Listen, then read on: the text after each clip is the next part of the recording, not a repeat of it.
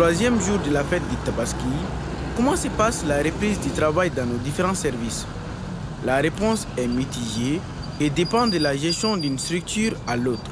Par manque d'autorisation préalable, certaines agences n'ont ni voulu répondre à notre demande d'entretien, ni nous laisser accéder avec la caméra dans l'air locaux.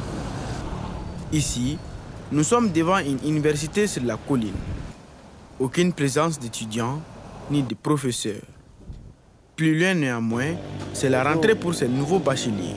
Et après la fête, ça vous a été... Je dirais même trop difficile parce que nous étions habitués à rester à la maison seulement, passer toute la journée à dormir. Donc subitement, le jour de la fête même, on entend les informations que le, le lundi il y a cours. Donc ça nous a un peu choqués, mais on a aussi adoré quoi, parce que rester à la maison aussi, ça nous dérangeait des fois.